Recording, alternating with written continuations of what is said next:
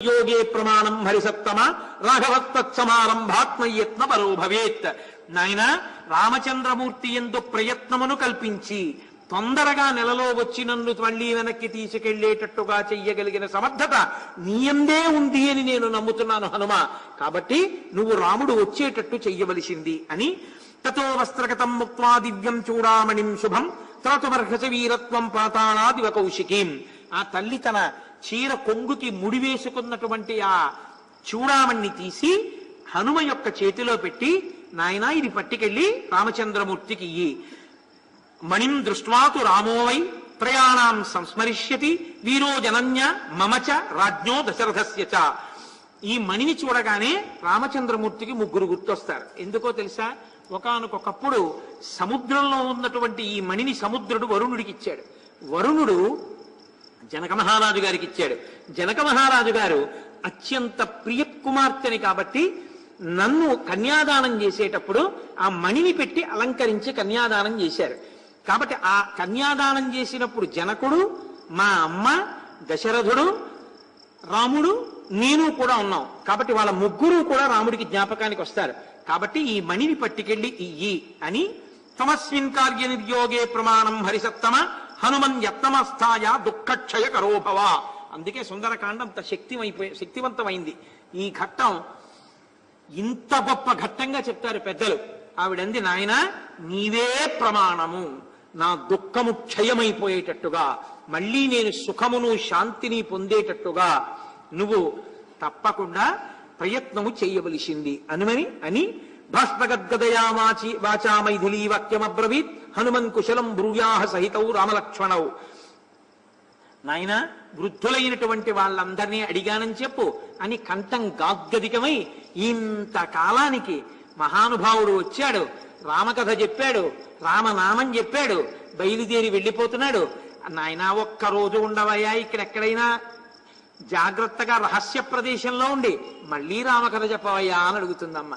అడిగితే ఆయన అన్నారు సీతాయా వచనం శ్రుత్వా హనుమాన్ మారుతత్మజ శిరస్యంజలి వాధాయా వాక్యం ఉత్తరమబ్రవీత్. ఆయన అన్నారు అమ్మా మళ్ళీ అంజలి ఘటించి అంటారు తల్లి నువ్వు ఏమి బెంగ పెట్టుకోకమ్మా నేను వెళ్ళడమేమిటి రామలక్ష్మణులు తీసుకొచ్చేస్తానమ్మా? కొన్ని కోట్ల వానరములు వచ్చేస్తాయి ఈ వానరములన్నీ కలిసి రామలక్ష్మణులు ఈ లంకా పట్టణాన్నంతటిని దహించేస్తారు. లంక నాశనం అయిపోతుంది. అమ్మా నీకు రామచంద్రమూర్తితో పట్టాభిషేకం కలుగుతుంది. ఊరడిల్లమ్మా అన్నారు. సీతమ్మంది త్రయాణామేవ భూతానాం సాగరస్యాస్య లంఘనే శక్తిస్వాత్ దైనతీయస్య తమవా మరుతస్యవా ముగ్గురికి మాత్రమే వేగం ఉందని నాకు తెలుసు. ఒకడు గరుత్మంతుడు రెండు మా మారుతి నువ్వు మూడు వాయుదేవుడు. తరస్మిన్ కార్య నిర్యోగే వీ వీరేవం దురతిక్రమే. కిం పశ్యసి సమాధానం తం హి కార్య విదాంబర నేను నిన్నో ప్రశ్న వేస్తాను. నువ్వు చాలా జాగ్రత్తగా ఆలోచించి నాకు చెప్పు. కామమస్య త్వమేవైక కార్యస్య పరిసాధనే పర్యాప్త పరవీరఘ్న యశస్యస్తే ఫలోదయ. నీవు నూరు యోజనముల సముద్రాన్ని గడచి వస్తావు నాకు తెలుసు. వచ్చి నువ్వొక్కడివే ఈ లంకా పట్టణాన్నంతటినీ పెకలించగలవు నాకు తెలుసు. రావణ సంహారం చెయ్యగలవు నాకు తెలుసు. నన్ను రాముడితో కలపగలవు నాకు తెలుసు. కానీ నరుడైన నా భర్త రాముడు నరుడైన లక్ష్మణుడు ఇంత శక్తి లేని మిగిలిన వానరములు దక్షిణ తీరంలో అన్ని వానరాలు ఉండిపోయాయే వాళ్ళు ఎలా వస్తారు? ఎలా నన్ను తీసుకెడతారు? కీర్తి నీకు దక్కుతుంది తప్ప నా భర్త వచ్చి రావణ సంహారం చేసి నన్ను విడిపించాడన్న కీర్తి నా భర్తకి దక్కి నా భర్త విజయ పతాకలతో అయోధ్య ప్రవేశం చేస్తే నాకు సంతోషం. నాయనా మరి మిగిలిన వానరాలు ఎలా వస్తాయి? వాళ్ళకి ఇంత శక్తి లేదు కదా అంది. అంటే ఏ వ్యక్తి అయినా ఏమంటాడంటే నిజమేనమ్మా నేనైతే ఇవన్నీ చేసేయగలను అనుకో కానీ మరి మిగిలిన వాళ్ళు రాలేరు ఆ విషయం నేను ఆలోచిస్తానులే అమ్మా అనాలి. ఆయన అన్నారు అమ్మా పది ఏనుగుల బలం వాళ్ళు వంద ఏనుగుల బలం వాళ్ళు వెయ్యి ఏనుగుల బలం వాళ్ళు ఎంతంత బలమో కలిగిన వాళ్ళు గాలిలో ఎగరగలిగిన వాళ్ళు సముద్రాన్ని ఔపోసన పట్టగలిగిన వాళ్ళు సుగ్రీవుడి దగ్గర లక్షల కోట్ల మంది ఉన్నారమ్మా అవలీలగా ఎగిరి వచ్చి ఇక్కడ దూకేస్తారు రామలక్ష్మణులు తలుచుకుంటే ఇది పెద్ద లెక్క తల్లి యుద్ధంలో అడ్డొస్తే యమధర్మరాజునే నిగ్రహించగలిగిన రాముడు సముద్రాన్ని దాటి రావడం పెద్ద కష్టం అనుకుంటున్నావా అమ్మా? అమ్మా నేను నీకు ఒక మాట చెప్పనా? మద్విశిష్టాశ్చ తుల్యాశ్చ సంతి తత్ర వనౌక సహ మత్త ప్రత్యవర కశ్చిన్నాస్తి సుగ్రీవ సన్నిధౌ. అమ్మా సుగ్రీవ సన్నిధానంలో నాతో సమానులైన వారున్నారు నాకన్నా అధికులైన వారున్నారు. నాకన్నా తక్కువ వాళ్ళు లేడమ్మా నేనే ఆఖరి వాడిని ఎందుకో తెలుసా? ఎవరైనా పట్టపురాణి దగ్గరికి పంపించేటప్పుడు అంతఃపురంలో అందరికన్నా పనికిమాలిన వాడిని పంపిస్తారు. రాముడు ఉంగరం ఇచ్చి నన్ను పంపించాడంటే నాకన్నా పనికిమాలిన వాడు ఎవరున్నాడమ్మా? నాతో సమానులు ఉన్నారు నాకన్నా అధికులున్నారు. నేనే వచ్చానంటే మిగిలిన వాళ్ళు రాకపోవడం ఏమిటమ్మా? అందరూ వస్తారన్నారు. ఇది ఆయన వినయం. సుందరకాండలో ఆయన వినయంతో మహానుభావుడు అసలు లోకానికి వినయం అన్న మాటకి భాష్యం చెప్పారు. అందుకే ఎక్కడెక్కడ హనుమని సేవిస్తారో ఎక్కడెక్కడ హనుమని ఆరాధిస్తారో అక్కడక్కడ బుద్ధి యశో బలం ధైర్యం నిర్భయత్వ మరోగత అజాడ్యం వాక్పటత్వం చ ఇవన్నీ వినయము ఆయన వలన కలుగుతాయి. అంతటి మహానుభావుడు ఈ మాటలు చెప్పి అమ్మా నేను బయలుదేరుతానమ్మా అన్నారు అంటే మళ్ళీ తల్లి అంటే వద్దు నాయన వెళ్ళిపోవద్దు.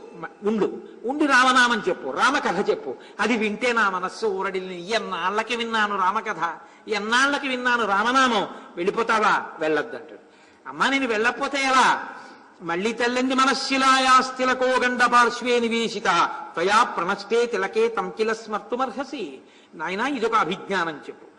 ఒకనకొకప్పుడు ఉపవనములలో విహరించి అలిసిపోయినటువంటి నేను ఒళ్ళు చెమట పట్టడం వల్ల నేను పెట్టుకున్నటువంటి బొట్టు చెమటతో కలిసి జారిపోయి మరుగున పడింది అప్పుడు రాముడు అక్కడే ఉన్నటువంటి ఒక మనిషిలా అన్నదాన్ని తీసి అరగదీసి ఆ బొట్టు తీసి నా పాలభాగమునందు ఉంచాలి కానీ బొట్టు పెట్టడం మానేసి బొట్టు పెడుతున్నాడనుకుని ఆవిడ ఇలా చూస్తుంటే ఆ వేలు తీసి బొట్టు పెట్టకుండా బుగ్గన చుక్క పెట్టాడు.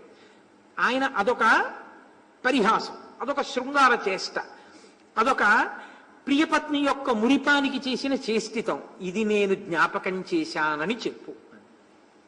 అంటే భర్తతో పంచుకున్న ఆ క్షణాల్ని మధురాతి మధురమైనటువంటి స్మృతులుగా బతుకుతున్న దాన్ని తప్ప నా బ్రతుకుకి ఇంకొక ఆశ లేదు. నేను ఇన్నాళ్ళు రాముడితో సమానంగా చూసుకున్నది ఏదైనా ఉంటే ఆ కేశభూషణం ఒక్కటే. ఎందుకో తెలుసా? ఈ కే కేశము పురుష వ్యామోహం. అటువంటి కేశభూషణాన్ని దీనికి నేను అలంకరించుకుంటే అది రాముడు సంతోషించాలని. అది నేను పెట్టుకున్నప్పుడు సంతోషించిన రాముడి చూపులు జ్ఞాపకం తెచ్చుకోవడానికి అది చూసుకునేదాన్ని. అది కూడా నీకు ఇచ్చేశాను. అంటే నా ప్రీతి రాముని ఎందే. రాముని ప్రీతియే నాకు సంతోషం. తప్ప నాకు ఇంకా ఏదీ కాదని చెప్పానని చెప్పు అని ఆ తల్లి బాధపడుతుంటే ఆయన మహానుభావుడు హనుమ అన్నారమ్మా నువ్వు ఏమాత్రం బెంగ పెట్టుకోవద్దమ్మా. ప్రశాంతంగా హాయిగా సంతోషంగా ఉండు తల్లి. ఇమం ముహూర్తం దుఃఖానాం అంతం ద్రక్షసి భామిని. అన్నా ఈ క్షణంలో ఇప్పుడు నేను ఇక్కడ నిలబడి ఏ మాట అంటున్నానో ఆ మాటతో నీ యొక్క దుఃఖమంతా పరిసమాప్తమైపోయింది. నన్ను నమ్ము. ఇక నువ్వు దుఃఖించవలసిన పని లేదు.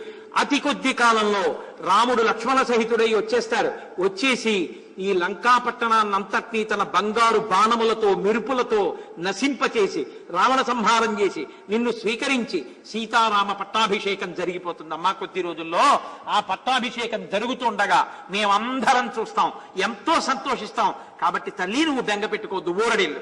నేను తొందరగా పెడితే వాళ్ళని తొందరగా తీసుకొస్తాను. కాబట్టి అమ్మా మానన్న ఆశీర్వదించమ్మా అన్నారు. ఇమంచ తీవ్రం మమ శోక వేగం రక్షోభిరేభి పరిభర్తృనం చ బ్రూయాస్తు రామస్య గత సమీపం శివశ్చ తేత్థాస్తు హరిప్రవీరా. నాయనా నీ ప్రయాణము మంగళమగుగాక. నువ్వు సంతోషకరముగా నీ ప్రయాణమును నిర్వహించదుగాక నా చుట్టూ ఉన్న రాక్షస స్త్రీలు ఇంత బాధ పెడుతున్నారన్న మాట మాత్రం రామ రాముడికి చెప్పడం మర్చిపోకని. సరాజపుత్ర్యా ప్రతివేదితార్థ కపికృతార్థ పరిహృష్టచేతా అల్పావశేషం ప్రసమీక్ష కార్యం దిశప్యుతీచం మనసా జగామ. సీతమ్మ తల్లి తనని మంగళప్రదంగా నాయనా నీ ప్రయాణం చెయ్యి అన్న మాట తల్లి ఆశీపూర్వకంగా పలికేటప్పటికే హనుమ పరమ సంతోషాన్ని పొంది అమ్మయ్యా సీతమ్మ దుఃఖాన్ని దైన్యాన్ని విడిచిపెట్టేసింది. ఇప్పుడు ఊరడెళ్ళి నమ్మి ఉంది కాబట్టి శాంతి పొందింది కాబట్టి రాముడు వచ్చేంత వరకు ప్రశాంత చిత్తంతో ఉంటుంది.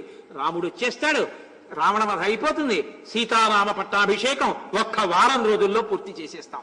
కాబట్టి అయిపోతుంది.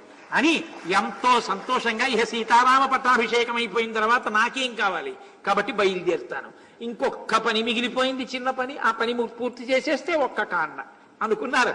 చాలా సంతోషించారు మహానుభావుడు. ఆయన బయలుదేరుతానని సంకల్పం చేసుకుని మహా సంతోషంతో పొంగిపోతూ ఉత్తర దిశగా బయలుదేరడానికి సిద్ధపడుతున్నారు. అక్కడ సీతమ్మ తల్లి హనుమ కూడా పరమ సంతోషంగా ఉన్నారన్న ఈ ఘట్టం దగ్గర ఇవాటి ఉపన్యాసాన్ని పూర్తి చేస్తాను. ఈ సందర్భంలో నేను మీకు ఒకటి మనవి చేయాలి. నువ్వు రోజు ఇలాగే చెప్తావు అనుకోకండి. నేను యథార్థమే చెప్తున్నాను. రేపు జయమంత్రం. అత్యద్భుతమైనటువంటి జయమంత్రాన్ని దేవాలయంలో అదే రాస్తారు. జయస్థితి బలో రామో లక్ష్మణస్య మహాబల అది చదివినా విన్నా కూడా జయం కలుగుతుందని. అంత గొప్ప జయమంత్రం రేపు ఉపన్యాసంలో వస్తుంది. రేపు హనుమ పూర్తిగా తన సందేశాన్ని కూడా ఇచ్చి లంకని దహించి సీతమ్మని దర్శించి తిరిగి వెడతారు ఆ వానరులందరూ శుభవార్త వింటారు. అంత గొప్ప ఘట్టాన్ని రేపు చెప్పి రేపటితో సుందరకాండ పూర్తవుతుంది. సుందరకాండ పూర్తయినప్పుడు ఒక శ్లోకంతో పూర్తి చేస్తారు. అందుకు పారాయణ చేస్తారు. సుందరకాండ పారాయణ చేయండి అని ఎందుకంటారంటే ఆ శ్లోకం కోసం వింటారు. తతోమయా వగ్విదధీన భాషిత ఆ శ్లోకం కోసం. అందులో నేను శాంతినిచ్చాను అని చెప్పారు హనుమ. అది విన్న వాళ్ళందరికీ మనశ్శాంతి కలుగుతుంది అని.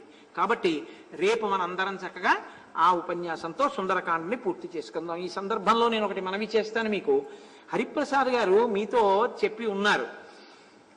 శృంగగిరి పీఠం డబ్బుల కోసం వ్యామోహపడే పీఠం కాదు అని. యథార్థం ఎందుకు వ్యామోహపడుతుంది?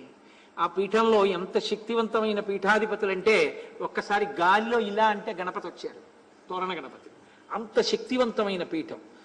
కేవలం కాకరకాయలు తిని అష్టసిద్ధులు పొందినటువంటి పీఠాధిపతులు దానికి ఉన్నారు ఒకనకొకప్పుడు ఆ ఉగ్ర భారతీ స్వామి గారు ఆ పీఠాధిపత్యంలో ఉన్నప్పుడు ఆయన మధురై వెడితే ఆలయంలో ఉన్న అర్చకులు మీరు లోపలికి వచ్చి పూజ చేయకూడదు అమ్మవారిని మీరు అలా దర్శనం చేసుకోండి మేము పీఠం తరపున ఇక్కడ పూజ చేస్తామన్నారు ఆయన వెంటనే కొబ్బరి బండం ఒకటి తీసుకురండి చేతిలో పట్టుకుని మంత్రాలు చదివారు. అమ్మవారిలో ఉన్న కళలన్నీ కొబ్బరిబండంలోకి వెళ్ళిపోయి ఆయన దాన్ని పట్టుకెళ్ళిపోయి పీఠంలో పెట్టి విడిదిలో పెట్టి పూజ చేస్తున్నారు. అమ్మవారు వెలవెలపోయి విగ్రహం అంతా ఎండిపోయినట్టు అయిపోయింది. వాళ్ళకి అర్థమైంది. అమ్మవారిలో కళలన్నీ ఉగ్ర నరసింహ భారతీ స్వామి వారు తీసుకెళ్ళిపోయారు. అప్పుడు విడిదికి వచ్చి ఆయన కాళ్ళ మీద పడ్డారు. మాది పొరపాటు అయిపోయింది. అమ్మవారిలో మళ్ళీ ప్రతిష్ట చెయ్యండి అని. ఆయన మళ్ళీ కొబ్బరి బండం పట్టుకొచ్చి మంత్రం జరిగారు. మళ్ళీ కొబ్బరి బండంలో ఉన్న కళలన్నీ అమ్మవారిలో ప్రవేశించాయి. జగత్తులను పరిపాలించగలిగినటువంటి మధుర మీనాక్షిలో ఉన్న కళలనే కొబ్బరిబొండంలోకి తీసుకోగలిగిన వాళ్ళకి మనం ఇచ్చే డబ్బులు అవసరమా? మనం కృతార్థులం అవ్వడానికి మనం ఇవ్వాలి కానీ మన రూపాయల కోసం పీఠాలు ఉన్నాయని మనం ఎప్పుడూ అనుకోకూడదు. సంకల్పం చేత. తెల్లవారు లేస్తే గురుస్తోత్రంలో మీరు వింటున్నారు. మహానుభావులు వాళ్ళు ఈశ్వరుణ్ణి నమ్ముకున్నటువంటి వాళ్ళు. కాబట్టి వాళ్ళ సంకల్పంతో ఈశ్వరానుగ్రహంతో ఏదైనా చెయ్యగలరు. శృంగగిరి పీఠానికి అసలు అంత వైభవాన్ని తీసుకొచ్చినటువంటి వారు ఆ ఏంటి వేదాలకన్నిటికీ భాష్యం ఇచ్చినటువంటి వారు విద్యారణ్య స్వామి వారు. విద్యారణ్య స్వామి వారు ఒక్కసారి ప్రార్థన చేస్తే కురిసేసిందంటే బంగారం అంతాను. కానీ వచ్చే జన్మలో తీసుకో ఇప్పుడు ఇవ్వనంది అమ్మవారు. ఆయన వచ్చే జన్మలో ఉంది కాబట్టి సన్యాసించేశారు. సన్యాసం ఉత్తర జన్మ. అమ్మ ఇప్పుడు తీసుకోనా అన్నారు. తీసుకోండి సన్యాసి ఏం చేస్తా ఉంది? సనాతన ధర్మాన్ని రక్షించడానికి నేను ఒక సామ్రాజ్యాన్ని నిర్మిస్తానమ్మా అన్నారు ఆయనే కర్ణాటక సింహాసనాన్ని విజయనగర సామ్రాజ్యాన్ని నిర్మించి మొట్టమొదట అంతఃపురాలు సౌధాలు రాజ్య నిర్మాణం కోసం దానికి లక్ష్మీదేవి యొక్క కృపగా వచ్చిన ఐశ్వర్యాన్ని ఇచ్చినటువంటి వారు విద్యారణ్య స్వామి. అందుకని కర్ణాటక సింహాసన ప్రతిష్టాపనాచార్య అన్న బిరుదు విద్యారణ్య స్వామి వారిది పరంపరాగతంగా అదే శంకరాచార్యుల వారిది ఆ పరంపరాగతంగా వస్తోంది కాబట్టి ఏ- ఆ పీఠం మీద కూర్చున్న ఎవరికైనా కూడా కర్ణాటక సింహాసన ప్రతిష్టాపనాచార్య అంటూ ఉంటారు. అటువంటి మహానుభావులు వాళ్ళు. వాళ్ళకి ఐశ్వర్యం లోటైందని కాదు. కానీ ఒక నియమం ఒకటి ఉంది లోకంలో. ఏమిటంటే రామకార్యంలో ప్రతి వాళ్ళని పాలు పంచుకునేటట్టుగా నువ్వు ప్రోత్సహించు అని. ఎందుచేత అంటే మీరు విన్నారు రామకార్యంలో మాట సాయం చేస్తేనే కాలిపోయిన రెక్కలు వచ్చాయి అటువంటిది రామకార్యంలో ఏదో ఒక ఉపకారం చేసి తీరాలి. ఏదో ఒక ఉపకారం అంటే నాకు తెలుసు. ఎందుకంటే నేను ఎన్నో కార్యక్రమాలు ఈశ్వరానుగ్రహంగా నాతో చేయించాడు. చేసిన వాడిని అహంకరించట్లేదు. చాలా మందికి మొహమాటం ఎక్కడొస్తుందంటే మనం అంత శక్తివంతులమా? మనం ఒక నూట పదహారులు ఇద్దామంటే ఆయన రోజు చదివే లిస్టులో పదివేలు పదిహేను వేలు పాతిక వేలు లక్ష ఉంటున్నాయి. నేను పట్టుకెళ్ళి నూట పదహారులు ఏమనిస్తాను? ఓ పదకొండు రూపాయలు నేను ఏమనిస్తాను రామకార్యానికి? ఇంకొక వారం రోజుల్లో రామ పట్టాభిషేకం. నా చెయ్యి వేద్దామనున్నా ఎలా వెయ్యను అని బాధ ఉంటుంది. అందుకే మేము కాకినాడలో ఏం చేస్తామో తెలుసా అండి? అసలు ఎవరి దగ్గర డబ్బుచ్చుకు రసీదు ఒకే ఒక్క రోజు ఆ మహత్కార్యం జరగడానికి హుండీ పెడతాం. ఒక్క రోజే ఇంకా పది రోజులు ఆ హుండీ పెట్టరు. ఒకే ఒక్క రోజు అది కూడా మహత్తరమైన రోజున పెడతాం. ఎందుకంటే వాళ్ళకి అది ఈశ్వరానుగ్రహాన్ని కల్పించాలి. నీ శక్తికి నువ్వే సాక్షి. రాముడు దాన్ని చూస్తాడు. మన మన మన రసీదులు ఎందుకో మన అల్లరి ఎందుకో. అర్ధనా వేయగలిగిన వాడు అర్ధనా వేస్తాడు. వంద వేయగలిగిన వాడు వంద వేస్తాడు. వెయ్యి కలిగిన వాడు వెయ్యి వేస్తాడు. ఒక్కొక్కసారి మా హుండీ తీసినప్పుడు ఐదు వందల రూపాయల కట్టలు ఉన్న రోజులు ఉన్నాయి. ఏం? హరి గోపాలకృష్ణ గారు? ఫారిన్ ఎక్స్చేంజ్ హుండీలో ఉన్నటువంటి రోజులు ఉన్నాయి. బంగారు కాసులు వేసిన వాళ్ళు ఉన్నారు అవి ఆ కౌంటింగ్ కూడా మేము ఎక్కడో చెయ్యం. అది పర్టికులర్ టైమింగ్స్ ఇస్తాం. ఈ టైం నుంచి ఈ టైం వరకే హుండీ ఉంటుంది. అయిపోయిన తర్వాత కార్యక్రమంతో ఏ సంబంధము లేకుండా సభలో ఉన్న వాళ్ళు ఎవరినో ఇలా చూసి అయ్యా మీరు మీరు మీరు అని ఒక ఆరేడు మందిని నామినేట్ చేస్తాం. వాళ్ళే ఆ రోజు రాత్రి ఈశ్వర పాదాల దగ్గరే లెక్క పెడతారు. లెక్క పెట్టి పీఠం యొక్క నిర్వాహకులు ఎవరుంటారో మాకు దేవాలయ నిర్వాహకులు గోపాలకృష్ణ గారు వారికి అందజేస్తాం. వారికి ఇస్తారు. మరురాజు సభలో దాన్ని అనౌన్స్ చేస్తారు ఇంత వచ్చింది నిన్న హిందీలో అని. దాన్ని ప్రతిజ్ఞ చేస్తారు. ఇందులో ప్రతి రూపాయి ఈశ్వరాని పాదముల దగ్గర ప్రతిజ్ఞ చేస్తున్నాను. నీ కార్యానికే ఖర్చు పెడతాను. అది చాలు. అంతే. ఎవరు ఈశ్వరుడి డబ్బు వాడుకుంటారు అందులో అటువంటి వారికి ఏం కావాలి? ఆయనకి ఎందుకు ఆయనే బోల్డు పాపం మహానుభావుడు పీఠానికి భక్తితో చేస్తున్నవారు. కాబట్టి రేపు నేను ఇది నమ్మిన వాణ్ణి రామకార్యం మీద ఉపకారం చెయ్యాలి అనుకున్న వాళ్ళని ప్రోత్సహించి తీరాలి తప్ప ఎప్పుడూ నిరుత్సాహపడకూడదు. అందుకే రేపు సాయంకాలం ఆరు గంటల నుంచి రేపు సాయంకాలం నా ఉపన్యాసం అయిపోయిన తరువాత ఒక పదిహేను నిమిషాలు ముప్పై నిమిషాలు అంతే బాస్. నేను ఇక్కడే ఉంటాను రేపు ఉపన్యాసం అయిపోయాక. ఉపన్యాసం పూర్తయిపోయిన తర్వాత కొంతసేపటికి అది అలా ఎదురు చూస్తూ ఇంకా మా అబ్బాయి వస్తాడండి మా మేనల్లుడు వస్తాడండి ఉంచు వచ్చాం అంతే. ఆ తర్వాత మీరు వేసేది ఏమైనా ఉంటే అవి దేవాలయాల్లోకి వెడతాయి రామకార్యంలోకి వెళ్ళేది. అంటే పట్టాభిషేకానికి ఖర్చు కానీ రేపు అన్నదానంలో కానీ ఈ ద్రవ్యాన్ని రామకార్యంలో వాడతారు. దానికి రేపు సాయంకాలం ఆరు గంటలకి ఒక ప్రత్యేకమైన హుండీ ఒకటి పెడతారు. ఎక్కడ పెడతారు ఆ హుండీ? శారదా దేవి దగ్గర పెట్టండి. శారదమ్మ ఎదురుగుండా విశాలంగా ఉంటుంది కాబట్టి ప్రాంగణం వాళ్ళు క్యూలో నించున్నా తేలిగ్గా ఉంటుంది. శారదమ్మ ఎదురుగుండా వెంకటాచలంలో కడతారే అలా ఒక పెద్ద హుండీ కట్టించండి. అక్కడ ఒక వ్యక్తిని పెట్టండి. వాళ్ళు వచ్చి మీరు ఎవ్వరికీ చెప్పక్కర్లేదు. మీరు అర్ధన వేస్తే వేయండి. పైసా వేస్తే వేయండి. మీరు ఒకవేళ అది కూడా వెయ్యగలిగిన శక్తి ఈశ్వరుడు మీకు ఇవ్వకపోతే శ్రీరామ అని రాసి ఒక కాగితం మీద అందులో వేయండి మీరు ఎంత వేసినా రామచంద్రమూర్తి కార్యానికి. కానీ నేను అనుకుంటున్నాను రాముడు అలా ఎవ్వరిని ఆ స్థితిలో ఇక్కడ ఉంచలేదు. రామ రామనామము రాయిస్తాడు. ఎంతో కొంత ఇవ్వగలిగిన వాళ్ళమే. కాబట్టి నా వాక్కు ఆ- ఆ దోషంతో కూడుకున్నది అని మీరు అనుకోవద్దు. కాబట్టి ఎవరు ఎంత వెయ్యగలిగితే అంతా వెయ్యండి. రేపు రాత్రి మనం ఉపన్యాసం అయిపోయినటువంటి ఒక్క ముప్పై నిమిషాలు ఉపన్యాసం అయిపోయిన తర్వాత ముప్పై నిమిషాలు మాత్రమే ఆ హుండి ఉండాలి హరిప్రసాద్ గారు. ముప్పయో నిమిషం దాటిపోగానే దాన్ని క్లోజ్ చేసేసి మీ సమక్షంలో పెద్దలు తీసుకొచ్చి ఇక్కడ పెడితే మనం సభలోనే ఎవరో కొంతమంది నామినేట్ చేద్దాం. అసలు నాకు చాలా మంది తక్కువ పరిచయం ఇక్కడ. వ్యక్తిగతంగా పరిచయాలు నాకు ఇక్కడ చాలా తక్కువ. నేను ఉపన్యాసానికి వస్తాను? అయిపోతే మళ్ళీ నా విడిదికి వెళ్ళిపోతాను. నాకు పరిచయం ఏ ఉంటుంది? కాబట్టి నేను పక్షపాతంతో ఎవరిని పిలిచేది ఉండదు. అయినా నాకు అలాంటి వాటికి సుతారము నేను ఇష్టపడను. ఎవరిని నామినేట్ చేద్దాం అనుకుంటే వాళ్ళని చేస్తాం. వాళ్ళకు ఒకవేళ కష్టం ఉంటే లెక్క పెట్టడంలో. వాళ్ళు అయ్యా నన్ను వద్దు ఇంకోరిని పెట్టండి అంటే ఇప్పుడు ఇంకోరికి ఇస్తాం. ఆడవారికి కూడా అవకాశం ఇద్దాం. ఇది వారు తరించాలి. వాళ్ళు వేసిందే. ఆడవాళ్ళలో కూడా ఎవరి వీధన చూపుడు వేలాగితే వాళ్ళకి అవకాశం. కాబట్టి చక్కగా రేపటి రోజున మీ అందరూ కూడా ఆ ద్రవ్యాన్ని చూద్దాం అనుకున్న వాళ్ళు కూడా చూస్తారు. ఇలా ఓ తాడు కట్టేసి ఇక్కడే ఈ ఎదురుగుండానే పోసేసి అంటే ఒక భద్రత ఉండాలి కాబట్టి అలా ఓ తాడు కట్టేసి కాస్త రక్షణ నిలబడి అందరూ చూసేవాళ్ళు కూడా చూడొచ్చు హుండీ కింద పోసినప్పుడు. చక్కగా లెక్క పెట్టి ముప్పై మూడు రూపాయలు వస్తే ముప్పై మూడు రూపాయలు మూడు లక్షల డెబ్బై వేలు వస్తే మూడు లక్షల డెబ్బై వేలు. ఎవ రామకార్యంలో పాలు పంచుకొని కృతార్థులవుదాం సంపూర్ణ రామాయణంలో ఇంత క్రతువులో. ఇది మన భాగ్యం జీవితంలో. మనం చెయ్యగలిగింది చేద్దామనుకున్న తృప్తితో వెయ్యండి తప్ప నేను అన్నానని వెయ్యద్దు. మీకు చెప్పి నేను చెయ్యని వాడిని కాను. నేను కూడా నాకు ఈశ్వరుడిచ్చిన దానికి లోటు లేకుండా నేను కూడా హుండీలో వేస్తాను. నన్ను నమ్మండి. మీ దగ్గర డబ్బులు ఇచ్చుకోవడానికి నేను చెప్పాను అనుకోవద్దు నేను కూడా రేపు ఉపన్యాసానికి వస్తూని హుండీలో వేసి ఉపన్యాస వేదిక మీదకి వస్తాను. కాబట్టి రేపు అందరం రామకార్యంలో పాలు పంచుకుని సంతోషంగా ఒక్క కుటుంబ సభ్యులం. అది ఎంత రానివ్వండి దానికి ఏం టార్గెట్లు లేవు. ఇంత రావాలి ఇంత ఇండని ఏం లేదు. ఉండనే ఉంది పెద్ద పర్వతం. కాబట్టి అందరం కూడా అలానే పర్వతం ఉంది కదా మనం ఎందుకు అనుకోకూడదు? మనం వేసేది మనం వెయ్యాలి. అప్పుడు మనం పర్వతం అవుతాం. కాబట్టి వేసి చక్కగా కృతార్థులం అవుదాం. ఎందుకు రేపు నిర్ణయించానో తెలుసా అండి? సుందరకాండ రేపు పూర్తవుతోంది జయమంత్రం వస్తోంది. పైగా శాంతి కలుగుతోందన్న మాటతో పూర్తవుతోంది. ఇంకా తర్వాత యుద్ధకాండ మళ్ళీ పట్టాభిషేకమే. ఈ ద్రవ్యాన్ని బట్టి ఆయన ఈ పట్టాభిషేకానికి కావలసినటువంటి వాటికి వ్యయం చేసేటప్పుడు ఈ సొమ్ము వ్యయంగా ఇచ్చేస్తారు. ఇచ్చేసి పట్టాభిషేకం వేళటికి మనందరి ధనంతో రామచంద్రమూర్తి యొక్క పట్టాభిషేకం జరుగుతుంటే మేమందరం రామ కింకరులం రామ బంట్లమని మనం పొంగిపోతాం.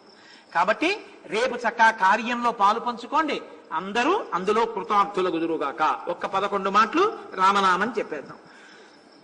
కోరి కొలిచిన వారికెల్లను కొంగు బంగారు రామనామము. రామనామము రామనామము రమ్యమైనది రామనామము. నీవు నేనన్ను భేదమేమియు లేకయున్నది రామనామము. రామనామము రామనామము రమ్యమైనది రామనామము. అండపిండ బ్రహ్మాండములకాధారమైనది రామనామము. రామనామము రామనామము రమ్యమైనది రామనామము. బ్రహ్మ సత్యము జగన్మిథ్యాభావమే శ్రీరామనామము. రామనామము రామనామము రమ్యమై రామనామము. సకల జీవులలోన వెలిగే సాక్షిభూతము రామనామము.